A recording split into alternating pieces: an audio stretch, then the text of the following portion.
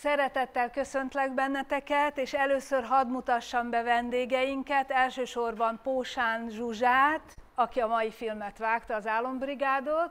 Én csak annyit szeretnék mondani, és aztán átadnám a szót Jankának, hogy ez a film azért nagyon fontos, és szeretném felhívni a figyelmeteket, egyrészt, mert szerintem zseniálisan van vágva, és nem azért mondom, mert Zsuzsa itt ül, hanem tényleg, és ne felejtsétek el, hogy ezt Janka jobban tudja, 80, 80 valahányba készült, 80-as évek elején, azt hiszem 83-ba közben eszembe jutott, és a másik, ami számomra rendkívül izgalmas és érdekes volt, hogy Kardos Sándor volt az operatőr, és minden egyes kockája festményszerű.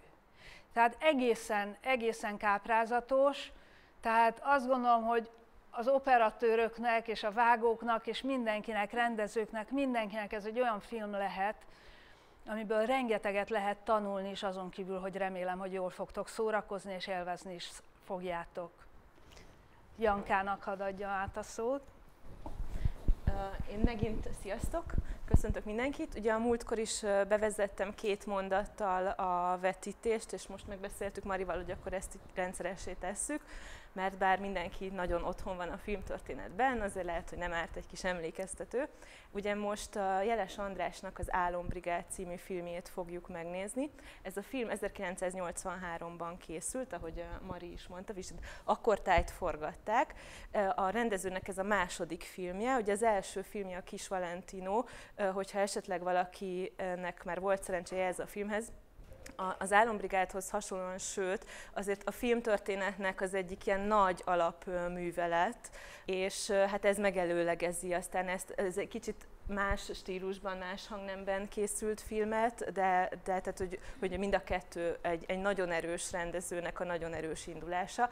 Ami érdekes ezzel a filmmel kapcsolatban, szerintem ezt fontos tudnotok, hogy, hogy amikor elkészült, akkor nem mutathatták be, dobozba került, vagyis a cenzúra betiltotta, ami a 80-as években már annyira talán nem volt jellemző, ezt mégis betiltották, hát szerintem azt nem kell elmagyaráznom, hogy miért, az ki fog derülni, amikor, amikor megnézzük a filmet, és csak a rendszerváltás környékén 89-ben lehetett megnézni. Tehát, hogy ez, ez sok-sok évig lappangott, ez a, ez a mestermű uh, itt a, a magyar filmtörténetben, meg a magyar kultúrában. Ami uh, miatt nagyon érdekes, azt a Mari is mondta, és én is hát ezt emeltem volna ki, ugye Kardos Sándor az operatőr, aki ugye itt nálunk is tanít a Metropolitanen, uh, tehát akár személyesen is ismerhetitek, vagy tanulhatotok tőle, egészen rendkívüli uh, az, amit itt nyújt ebben a filmben, illetve hát a vágást is szintén kiemeltem volna. Az egész uh, film uh, valahogyan olyan szintre emeli a stilizáltságot, um, ezt a kifordított beszédmódot egyébként egy nagyon jól ismert műfajról, hogy ettől, ettől egészen unikálissá válik. Ugye az a műfaj, amit ez a film parodizál, vagy inkább felhasznál, újra gondol, az, az a termelési filmnek a műfaja, ami a, a Magyarországnak ebben a korszakában ekkor már egy sokat látott, sokat készített és ismert, ismert igazi zsáner, zsáner típusa volt a, a korszaknak. Az egyik kritikus azt is írta róla, hogy ez, az, ez tulajdonképpen az utolsó termelési film, de ez már nem úgy termelési film, ahogy az a, az a, a sor, ami megelőzi. Ez az egész termelési film műfajt idézőjelbe teszi, és tulajdonképpen felhasználja ahhoz, hogy valami másról, valami máshogyan beszéljen. Én még megemlíteném az Eszterházi Péternek a Termelési Regény című művét is, hogyha esetleg valaki olvasta, akkor azért itt er-, elég erős hát, kapcsolódás van a gondolatiságban. Úgyhogy akkor nézzük meg a filmet, és akkor utána pedig legyen egy beszélgetés. Jó szórakozást! Köszönöm szépen! Akkor Meglepő volt számomra, hogy ilyen csend maradt a végén. Kezdjük azzal, hogy ezt nem nagyon tudtam mire vélni. Kicsit vagy nagyon kíváncsiak lennénk szerintem együtt, mindannyian a, a véleményetekre, anélkül, hogy befolyásolni szeretnénk benneteket, tehát nem akarunk először most semmit mondani, aztán úgy is fogunk beszélgetni, ne, ne aggódjatok. De néhányatok véleményére kíváncsi lennék. hogy mit gondoltatok, vagy mit éreztetek közben. Vállalná valaki, hogy mond pár szót? A mi generáció már nem feltétlenül ugyanúgy érti ezeket a, az intellektuális poénokat, mint, mint a rendszerváltás előtti generáció, hiszen mi soha nem éltünk ebben a rendszerben, és nem voltunk részesei, és így, uh, így gondolkozva így összeállnak nekünk is a poénok, csak már nem ugyanaz a, az a hatása számunkra. Én nem, inkább egy csögörfilmként tudom értelmezni, mint egy ilyen tervezési Aha.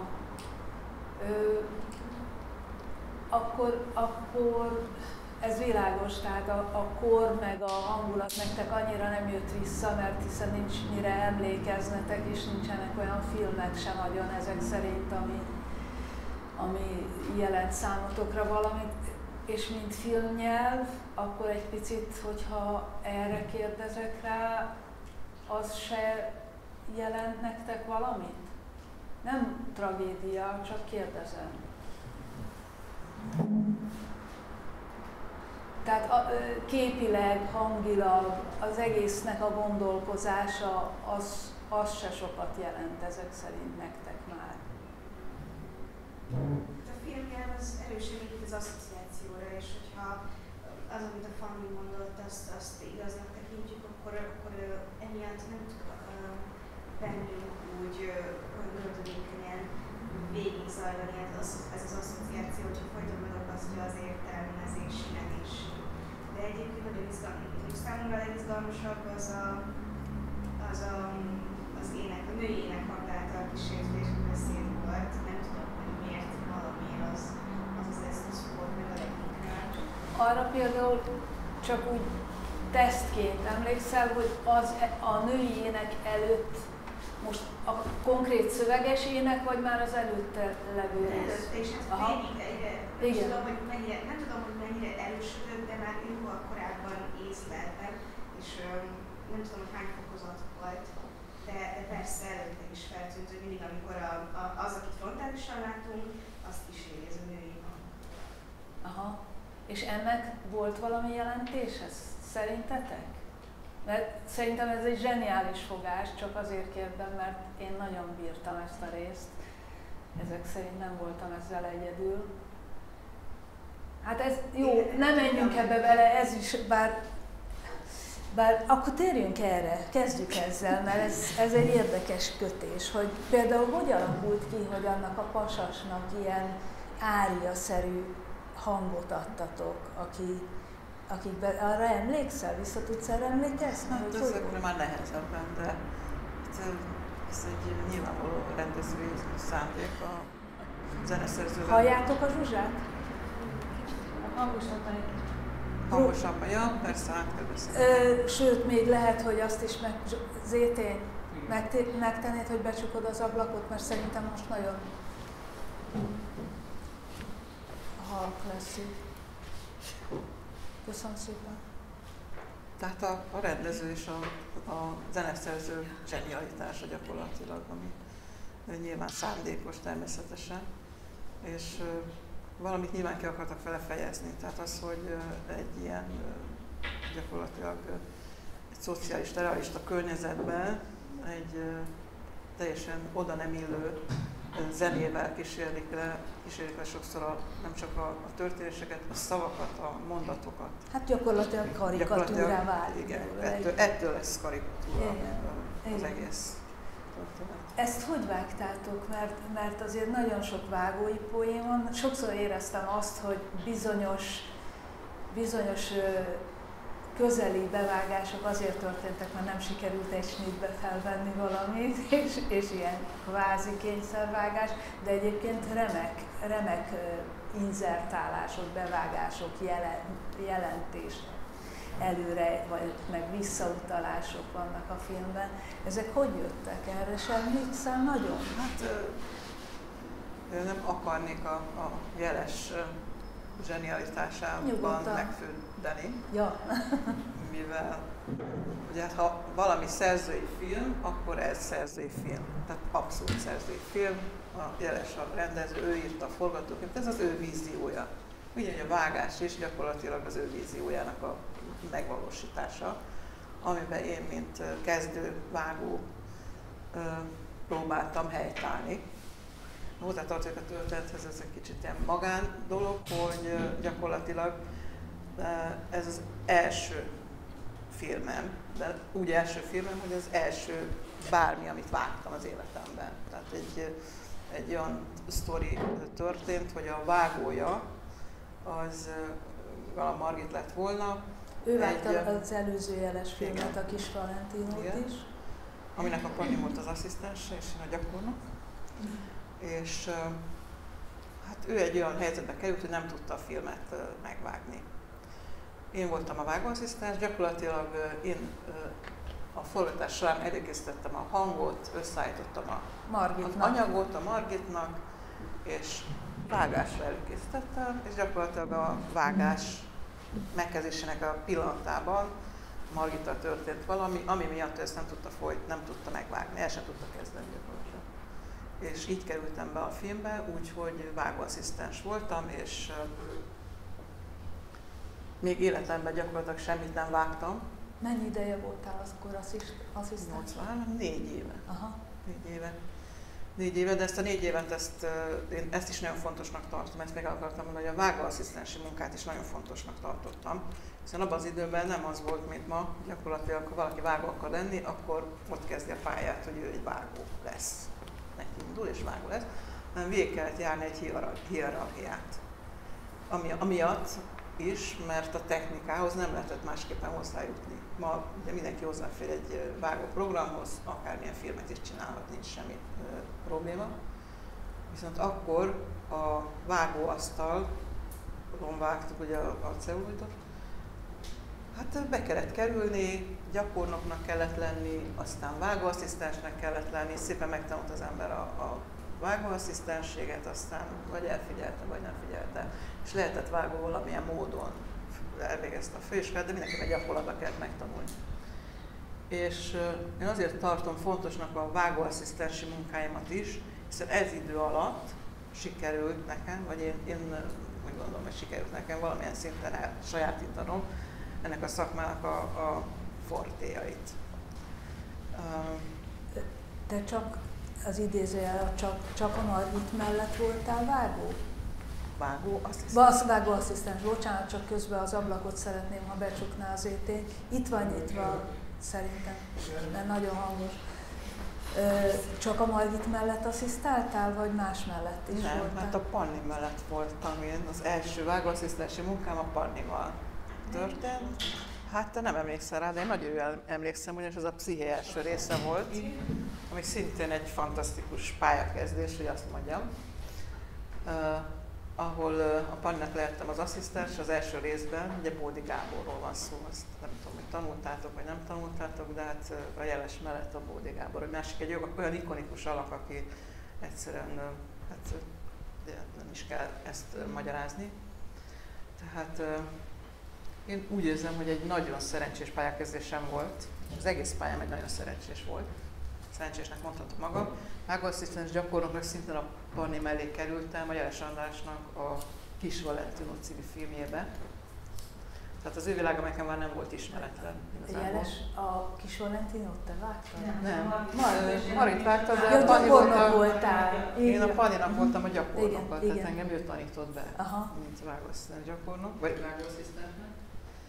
És hogy az első játékfilmem, nagy filmem, ilyen szerencsés, a Margit számára szerencsétlen módon a mesteremberek, ez volt az eredeti címe, mesteremberek, állambrigád lett. És hát csak ebben azt akarok kihozni, hogy nem szeretnék így a, a jeles zsenialitásomban így merik megmerítkezni, hiszen egy teljesen kezdőként kerültem a filmbe, viszont hát azt tudjuk, hogy aki vágóasztal mellett ül, annak azért van a kezébe lehetőség. Tehát nem, nem lehet végrehajtónak lenni, a vág, nem lehetett a végrehajtónak lenni akkor sem a vágóasztal mellett, mert te csak egy végrehajtó voltál, vagy, vagy akkor nem vagy megfelelő. Tehát akkor, akkor nem, előbb-utóbb ez úgy is kiderült. Tehát Persze. nem lehet végrehajtónak lenni, kreatívan részt kell venni a, a vágásban, és ez azt szerintem ez elég, elég jól sikerült itt az első. Én is azt gondolom, és, és aztán folytatódott szépen a pályád, bár az Andrissal, mintha nem vágtál volna több filmet. Hát voltam még, de hát végül is ez úgy történt 83-ban, ezt a filmet ugye 16-osan forgat, 16-osra forgatta ezt a filmet.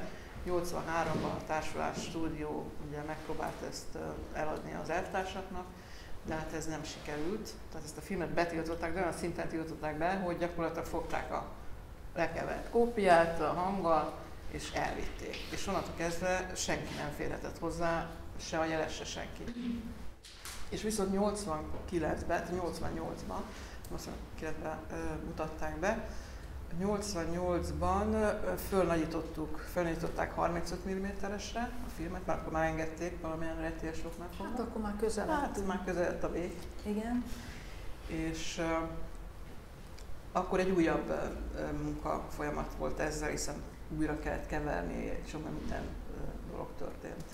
Tehát akkor még, még dolgoztam vele nagyon. Az egész film egyébként utószinkronos, mert a rátöny az egyértelmű. Hát nem, mert a, a melósok azok, azok eredetiek. Igen, tehát az egyik nehézsége, mondjuk ha lehet nehézségről beszélni a filmben, hogy mivel amatőr szereplő, hát a legnagyobb része a szereplőknek, velük ugye hát eredeti hangot forgattak, mert hát nem is lehetett. Időnként van egy-két kis utószinkron, amit egy pótmondatok, vagy, vagy ami valamiért más kellett mondani. Tehát volt egy-két utószinkron a, a amatőr szereplőkkel is, de eredeti hangot használtunk végig. És hát ugye az a nehézség a filmnek, hogy mivel amatőr szereplőkről van szó, ezért nagyon nagy mennyiségű anyagot kell ahhoz leforgatni, hogy abból ez mondjuk kijöjjön, tehát a hasznos anyag kijöjjön. Tehát egy nagyon nagy mennyiségű anyagot kellett kezelni. Mennyi ideig vágtátok arra Hát szerintem, hát nem emlékszem pontosan, de egy év ez volt. Uh-huh ez egy ilyen fantasztikus egy év volt. Igen. Fantasztikus egy év volt, amíg ezt megcsináltuk. Az első etap, a másikra nem emlékszem, hogy mennyi ideig, Aha.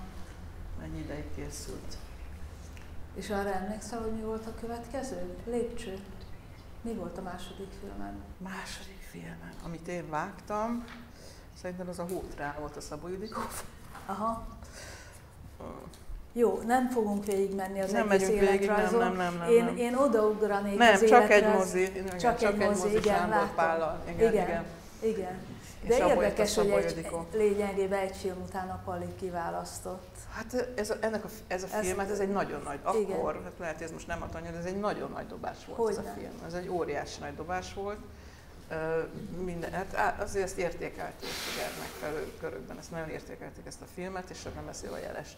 Erről, uh, erről tudni kell, bocsánat, hogy közbeszólok, de arról tudni kell, hogy a betiltott filmeket is mi láthattuk annak idején. Tehát azért voltak ilyen belsős vetítések, igen. tehát a, aki abban az időben ott volt, tudott erről, és tudta, hogy ki mit csinált, kinek mi köszönhető. Hát igen, először a stúdió fogadta el, nézte meg, aztán vagy elfogadta, vagy valahogy elfogadta, de aztán jöttek az elvtársak, és ők úgy döntöttek, hogy, hogy ezzel nem tudnak mit kezdeni.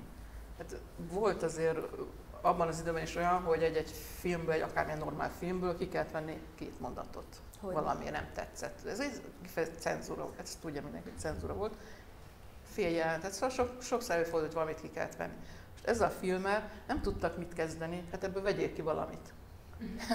Ebből kivetsz egy mondatot, két mondatot, száz mondatot, nyolc jelenetet, tizet, ez a film akkor is ugyanaz maradna, tehát ez, ez egyértelmű, hogy ez, ezt ők nem tudták lenyelni, amit itt kaptak. Hát ez a, a rendszernek a szívébe egy hatalmas nagy tört beleszúrtak, és olyan módon, ugye, ami, ami, ami nem, amit nem, nem, szerintem nem is tudtak megérteni. Tehát nem, nem tudták fölfogni, hogy ez mi ez a film, gondolom én. Igen.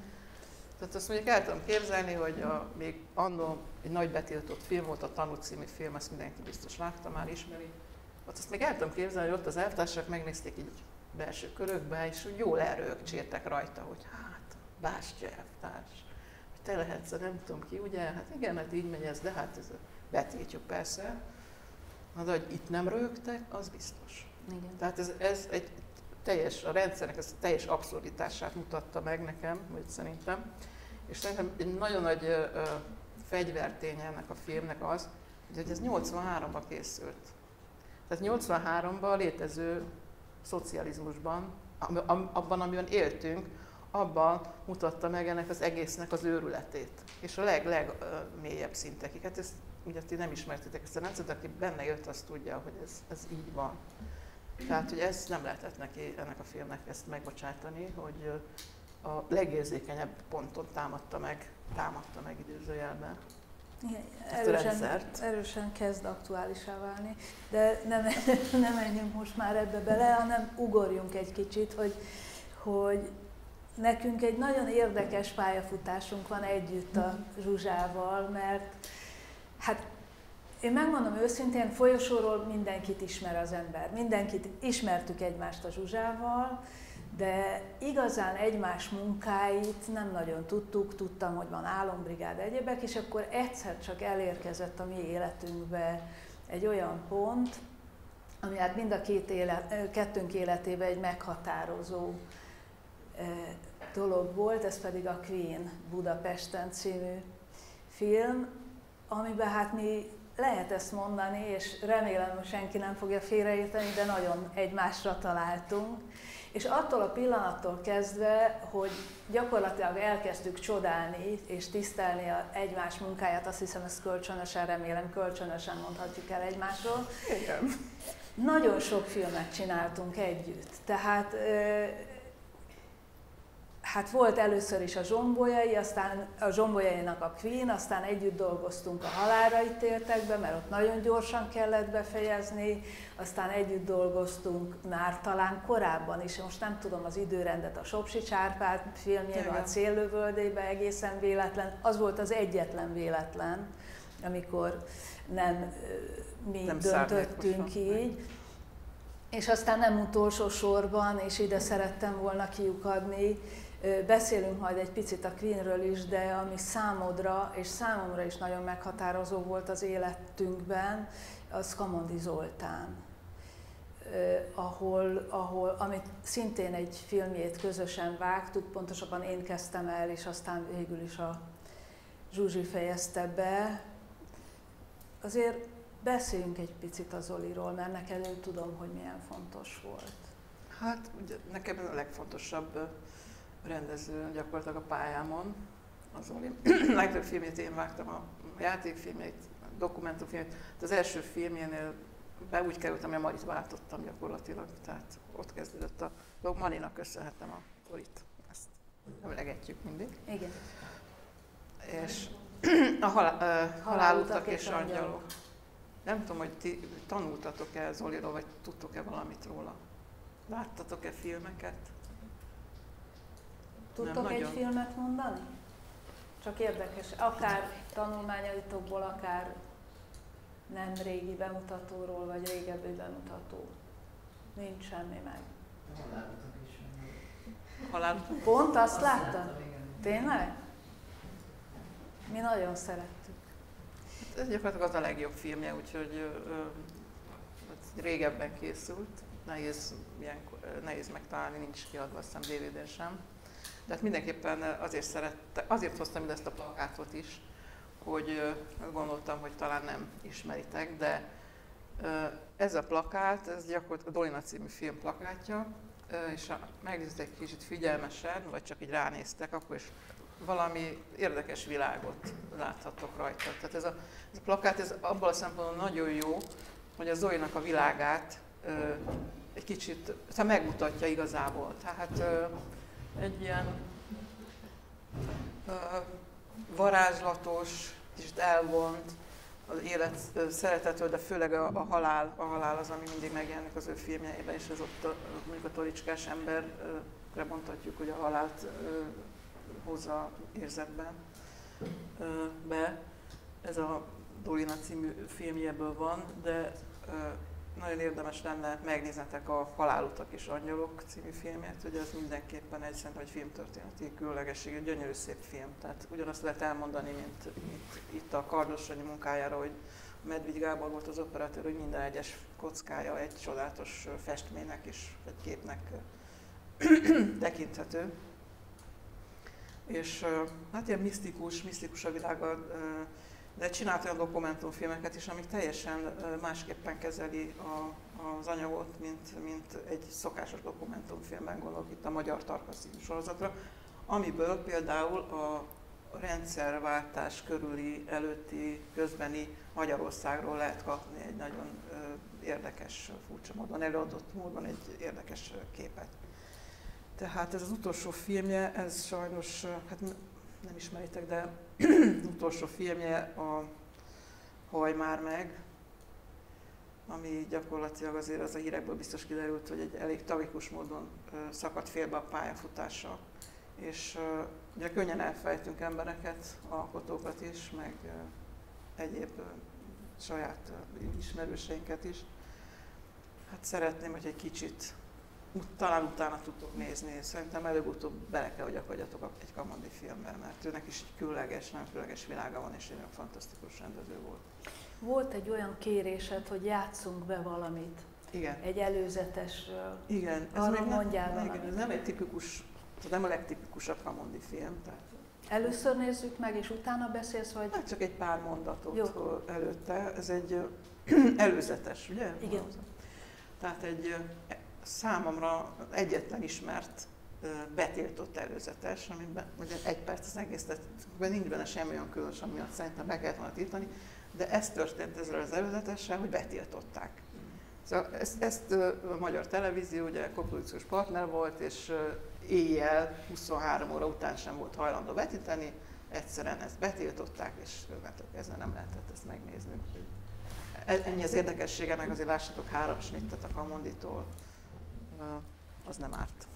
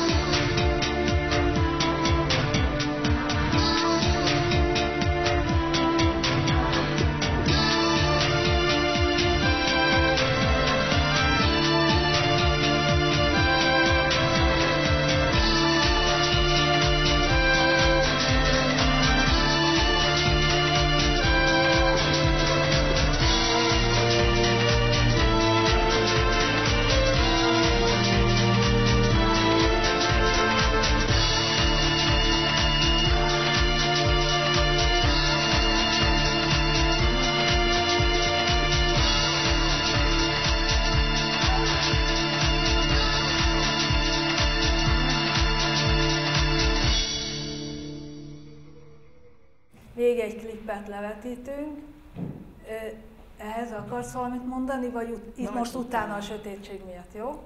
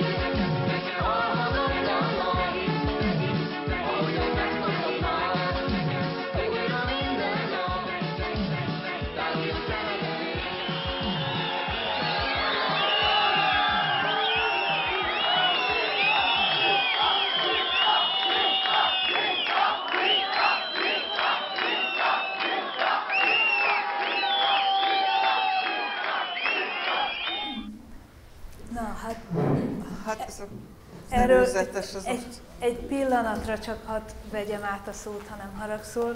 Erről szintén tudni kell, hogy jobb ez így a fény, hogy félig van csak fenn? Az összeset kapcsolt fel szerintem. Ja, köszönöm, azt elfelejtettem. Szóval azt szerettem volna ezzel kapcsolatban mondani, hogy nem csak nem csak úgy volt párhuzamos és egymást kiegészítő nagyon sokáig az életutunk, hanem a Szerelem első vérig című filmet, az elsőt én vágtam, Tényleg. És mikor én sikeresen összevesztem a rendezőmmel, akkor... Jöttem én. Jött Zsuzsa. És, és szerelem második vérig. És szerelem második vérigben ő lett. Az elsőben nem volt klip, szerencsédre itt volt, úgyhogy igen, igen, folytathattad a zenei mániádat Így te van, is. mert ez a kedvenc feladataim egyike zenés filmet vágni, hogyha az embernek lehetőség volt, már pedig nekem elég sokszor volt erre lehetőségem.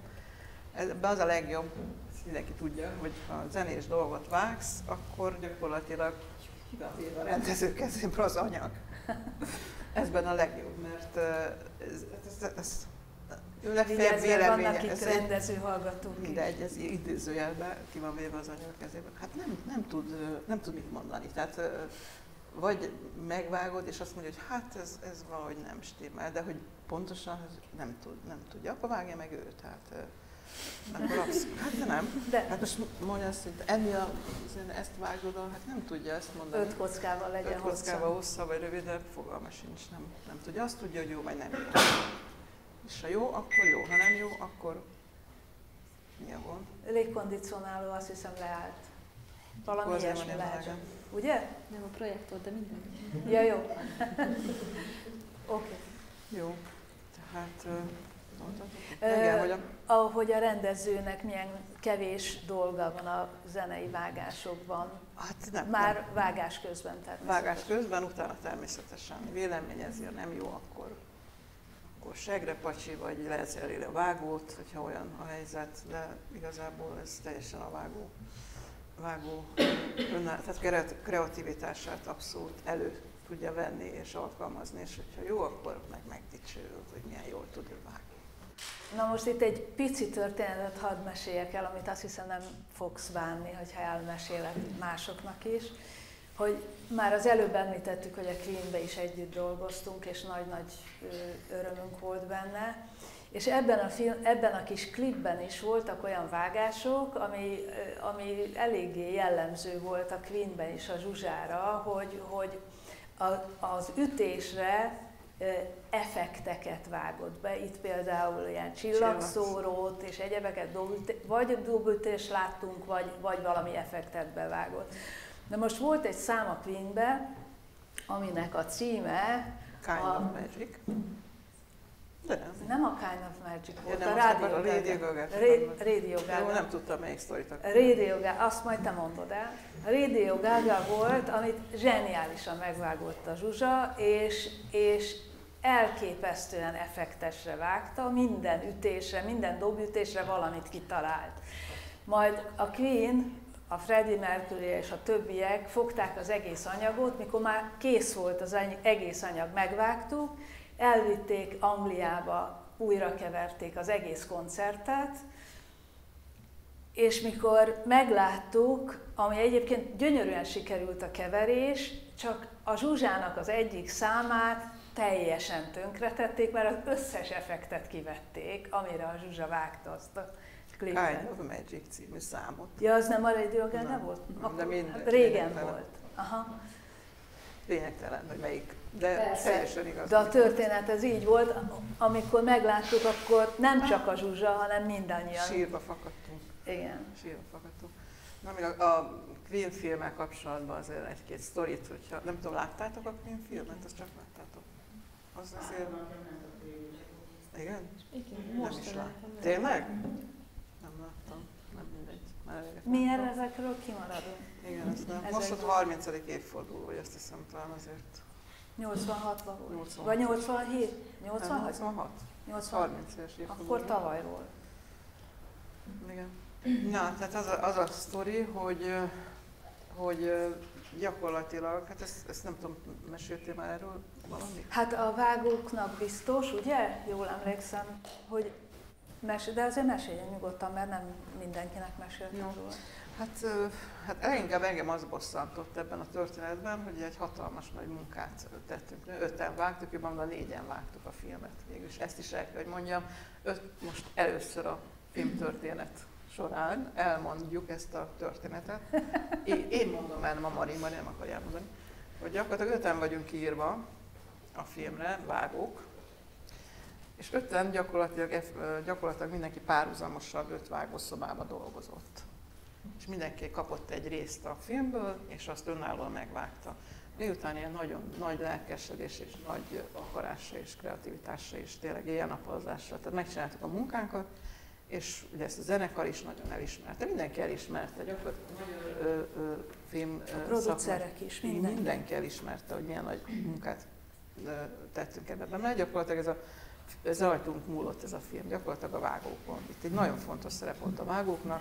Ugye 18 vagy 16, 16. operatőr gyakorlatilag kiment Ja, a bocsánat, 16 ö, kamera volt, ami, ami szinkronba ment, ö, annyit tettünk alá, de ezen kívül volt még legalább két vagy három kamera, amelyik a közönségben ment, de az nem volt szinkronba téve. Igen, az. az, igen. Tehát gyakorlatilag egy, egy nap alatt gyakorlatilag a operatőrök fölvették, a rendezőnek volt egy elképzelés a filmről, és ezt mi valósítottuk meg teljesen önállóan vágók.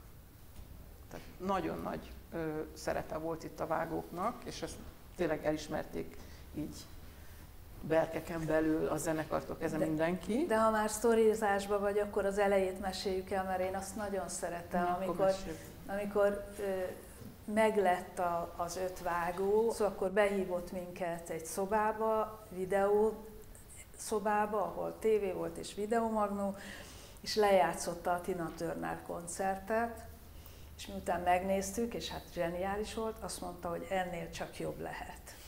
Tehát így, Igen, így indult a, a történet. És lett olyan, mint a Tina Turner film, hiszen ez a film abban az évben, amikor elkészült, vagy következő évben, nem tudom, abban az évben, Londonban az összes koncertfilm közül megnyerte a, annak az évnek a legjobb koncertfilmje díjat.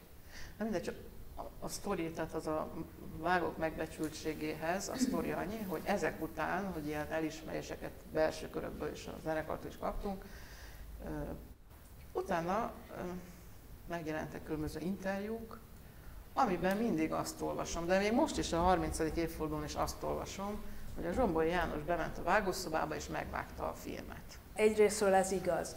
Másrésztről az is igaz, hogy a zsombolyai néha járta a vágószobákat, de hát mindez élvezkedés volt, mert tényleg járta a vágószobákat, de nem ő vágta, hanem megnézte, hogy mit csinálunk, és ami ebben tényleg csodálatos volt többek között az az, hogy minden héten legalább egyszer volt egy ilyen össznépi vetítés, tehát a vágóknak és a rendezőknek, talán még a Szabó Gabi is néha ott volt, és akkor megnéztük mindig az, egy, a- az éppen akkori munkánkat, tehát a másik munkáját, és akkor ott dumáltunk is, a Zsombolya is talán elmondta a véleményét, tehát ilyen vetítések voltak, de aztán megint mindenki visszavonult valóban, ahogy a Zsuzsa mondta a saját vágószobájába, és volt tovább a, a, a munka, és az, az még a szépségéhez nekem hozzátartozik, hogy mi nem bírtuk ki, annyira izgatott a másik vágása is, hogy állandóan bejártunk egymáshoz, hogy, és néztünk, sőt, ennél több is volt, mert szerintem nagyon sok ötletet is adtunk egymásnak mm. vágás közben. Egyszer volt egy olyan közös élményünk, szintén sztória Miklós Marival, egy közös filmünk az amerikai film. Igen. Igen, Storm and Sorrow, egy amerikai film, amiben mind a ketten vágó asszisztensként kerültünk bele. Megint egy kicsit muszáj közbevágnom, ne haragudjatok, de hát ezek közös élmények. Igen. Tehát Storm and Sorrow, nem tudom, hogy ezt hallható volt, mert nagyon, még én is alig hallottam. Tehát ezt úgy kezdődött, csak a kezdetet, aztán átadom a szót, hogy egy nagyon tüneményes öreg kis vágó imádtuk a Zsuzsával mind a ketten. Vágó volt, a, a, egy amerikai vágó volt a vágója, nevezett Bob Kimball, aki elkezdte a filmet vágni, viszont olyan mérhetetlenül sok volt az anyag, és olyan rövid volt a határidő. Én voltam az első asszisztense, Zsuzsa volt a második asszisztense, és Merlin Noémi, említsük meg az ő nevét is, volt mind a, a harmad asszisztens. És aztán ahogy telt múlt az idő, én előléptem másodvágóvá, majd még ez se volt elég, a Zsuzsa előlépett harmadvágóvá, ez most csak a sorrendet, tehát a belépési státuszt jelenti, mert mindenkinek ott is megvolt a maga sora, amit megvágott, és akkor maradt szegény Noémi egyedül hármunknak a vágóasszisztense. Na ebből csak azt akarom kihozni a vágó megbecsültséget című története kapcsolatban, hogy Hát ezt van is, ugye meg mindenki tudja, aki akkor, akkor dolgozott, hogy a vágókat azért, tehát a, a filmes hierarchiában a vágókat mindig a, megpróbálták kicsit lejjebb tolni, főleg a hangmérnökökkel álltuk mi állandó harcba, úgy emlékszem. És hát igazából nem volt, szerintem nem volt, te nem voltál harcban?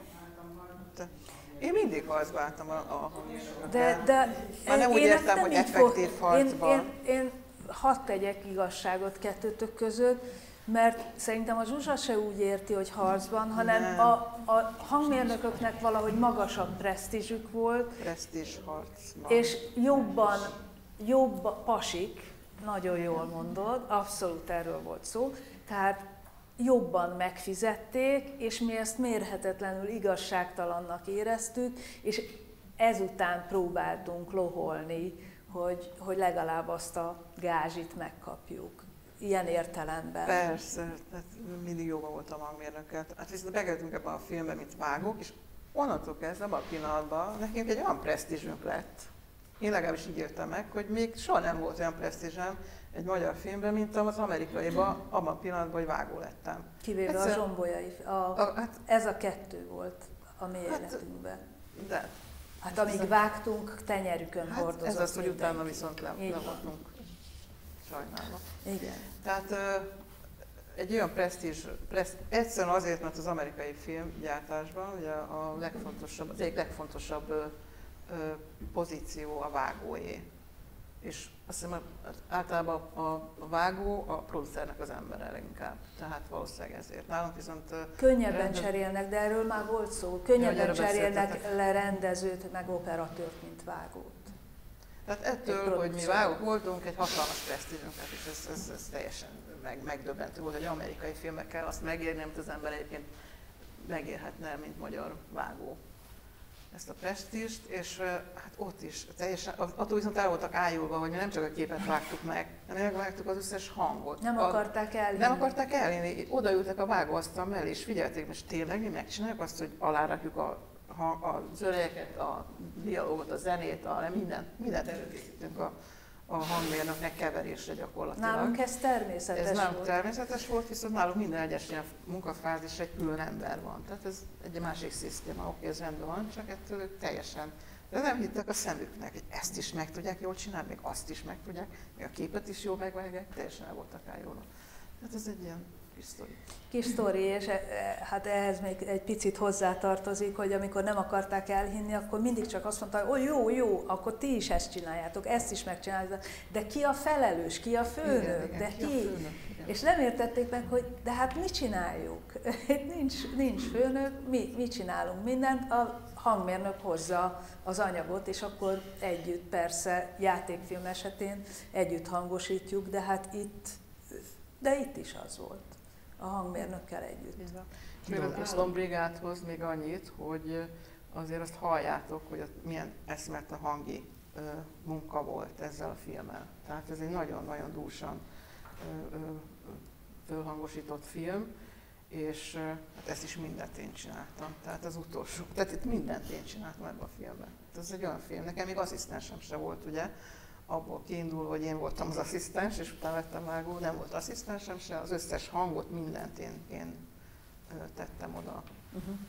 Hát ez az én kis ezen munkája.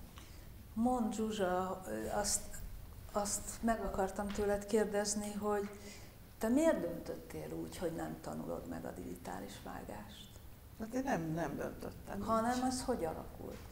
Hát ez így, így alakult, de ezért megtanultam vágóprogramot, tehát arról nincs szó, hogy nem tanultam meg vágóprogramot, mert viszont csináltam magamnak ilyen kis amatőr filmeket, amiben az összes munkát, a kamera munkától kezdve a vágásig mindent én csináltam.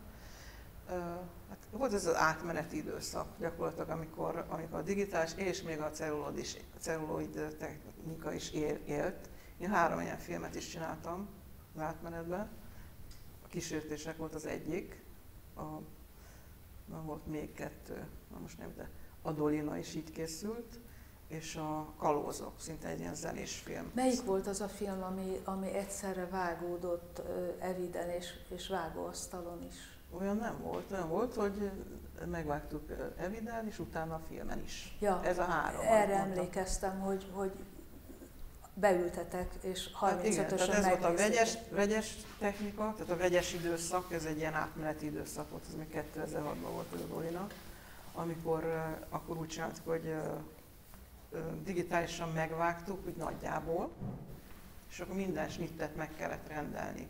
Megrendeltünk uh, filmen, és uh, összeállítottuk ugyanúgy, ahogy a digitális, ahogy a számítógépen volt, és azon folytattuk a munkát, tehát azon finomítottuk. Egy olyan állapotban kellett lenni a filmnek, amikor már minden anyag benne van, és valamilyen szinten meg van vágva, és akkor átmentünk vágóasztalra. Mint ahogy itt utoljára itt talán a Spielberg dolgozott így, Igen. amikor itt forgatott egy, a Spielberg, amikor itt forgatták a, nem tudom, mi volt a címe? A München. München. Itt forgatták, és itt is vágták ugyanezzel a technikával. Én úgy tudom, hogy sok film készült így, mert a vetítőt nem akarták kihagyni. Nagyon sok rendező nem akartak kihagyni, Igen, tehát igen, az asszisztens utána vágta mindig a, a vágó munkáját. Igen, de mi azon, mi azon is vágtak, még tovább vágtunk celluloidon. Ja, de ennek tényleg az volt az értelme, hogy a rendezők egyébként ragaszkodtak ahhoz, és ez teljesen jogos igény, hogy ők szerették volna celluloidon nagy vásznon megnézni a filmüket, mert teljesen más hatása van, mint, mint hogyha egy, egy, egy monitoron nézi meg, vagy egy projektoron nézi meg. Teljesen más. És talán ezek az utolsó ilyen filmek voltak, de van, aki még talán Hát, vissza akart térni. Jön, jön De ez a vissza. technika, Igen. hát ez így gyakorlatilag megszűnt, mert az eszközöket nem, lehet, nem nagyon lehet beszerezni hozzá. Tehát hangszal, hang, hangszalagot, vágóasztalt, stb. amihez kellett. De azért azt se felejtsük el, hogy, hogy lényegesen kevesebb filmet készítesz azóta, mióta digitális vágás van, de azért végig segítettél az Zolinak a filmjeiben, úgy tudom, ugye? Hát A igen, az, Kamondi Zoltáról beszél. igen, igen, hát az övé a Dolina volt az utolsó előtti, ami még ezzel a technikával készült, és most csinált az Oli egy filmet, a Hajmár meg című filmet, ez az utolsó filmje, amit nem biztos hallottátok a, a hírekből, hogy a munka közben gyakorlatilag váratlanul meghalt, és nem tudta befejezni ezt a filmet. Ebben is, mint konzultáns közleműködtem, és hát ez egy nagyon fájdalmas történet, ez talán nem is tartozik ide, csak nekem, nekem nagyon fontos, hogy a, ugye március, 10 tavaly március 15-én este, tehát már 16-án hajnalban halt meg. 15-én este, amikor egy filmbemutatón volt, akkor az utolsó éjszakán fölhívott engem, és egy, egy negyed órát beszélgettünk, és gyakorlatilag kaptam tőle egy hatalmas ajándékot, a legnagyobbat, amit adhatott. Azt mondta nekem, hogy kitáltam neked valamit, tudta, hogy engem érdekel, a, érdekel az írás, és hát ugye végig konzultáltam vele ezt a filmjét, gyakorlatilag a forgatókönyvtől kezdve az utolsó fockáig a vágást is, így háttérben. Mert azért itt egy, egy, kényszer, egy csúnya történet, egy kényszerpálya mozgott, de ezt most nem, nem akarom ide elhozni. És azt mondta nekem, hogy kitáltam neked valamit, jövő héten megyek a filmfő, nem tudom most, hogy hívják a filmfőigazgatóságot, ami hát a filmközpont, Nemzeti Filmalap. Nemzeti Filmalaphoz, és készítem elő a következő filmemet, és azt szeretném, hogy te lennél benne a dramaturg, mert hogy akkor az első pillanattól kezdve bevehetnélek téged a filmbe. Hivatalosan is. Hivatalosan is. és nekem ez a legnagyobb ajándék, hiszen tudom, hogy ez azt jelenti, hogy az első pillanattól a leges legutolsó pillanatig, hiszen a vágói munkámra is számított, nagyon bízott bennem, akkor ebbe benne lehetek, és ennyire értékelt az eddigi munkádat. Ezek nehéz, nehéz pillanatok. Picit oldjuk azzal, hogy van-e valakinek valamilyen kérdése bármivel kapcsolatban. Mondja. Hogy a, az állami kárban visszatérjünk rá, mennyi volt a felvételi trükk, és mennyi volt a volt ez? Hát ezek általában inkább felvételi trükkök voltak. Tehát, Tehát a, a, a, a lábony is, meg ezek a kimerelített hát, mozdulatok.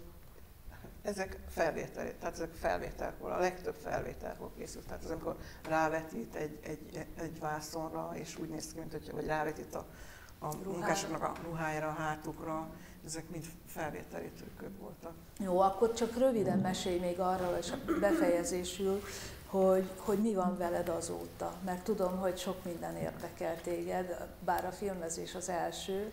Hát igen, igen, de... sok, minden, sok minden érdekel. Hát gyakorlatilag próbáltam egy pályát módosítani egy kicsit. Tehát én az írással szeretnék foglalkozni leginkább. Jöhet egy-két film, tehát az, azzal nincs gond. Forgatókönyv a fiókban? Forgatókönyv két. De nem forgatókönyv, könyv, könyvem készül, azt majd mindenkinek kötelező lesz megvásárolni, majd értesítést küldök. Jó. De tényleg komolyan, tehát írom. Filmvágásról szó? Vagy... Nem a filmvágásról szó. Jó, mert, mert azt magamnak tartom fel. Na, te írjál a filmvágásra, mert te ahhoz értesz. Én meg majd írok valami másról, ami Jó. engem érdekel. Nem, hát én mondottan ilyen regény, vagy is regény, meg monodráma készül. Tehát készül egy ilyen pályamódosítás, amiben nagyon sikeres leszek, tehát azt tervezem, hogy nem, úgy tervezem, hogy egy bestseller lesz az első könyvem, azt nagyon készítem, hogy az bestseller legyen, akkor ezt a filmesek Álnéven, vagy saját nem, neveden? Nem. Hát, azt ha jó lesz, akkor saját nevem. Ha nem jó, akkor lehet, hogy álnéven. Tehát, hogyha viszont vagyok, akkor álnéven. De mindegy. Úgyhogy nem is mondom meg, mi a címe. És mondom, bestseller ezt meg fogják el fogják olvasni a film környékén emberek, és rá fognak tuppanni, és forgatókönyvet rendelnek belőle. Na de ki fogja rendezni? Hát azt még nem tudjuk. Jó. Nagyon De köszönöm. vannak ötleteim. Helyes. Te fogod kiválasztani a rendezőt? Hát mindenki bele, bele szeretnék szólni. Helyes. Szerző. Jó van, Zsuzsa, nagyon-nagyon köszönöm, hogy eljöttél és vállaltad a beszélgetést. Nagyon szívesen. Nektek is köszönünk mindent és örülök, hogy eljöttetek, és megnéztétek ezt a filmet. Köszönöm.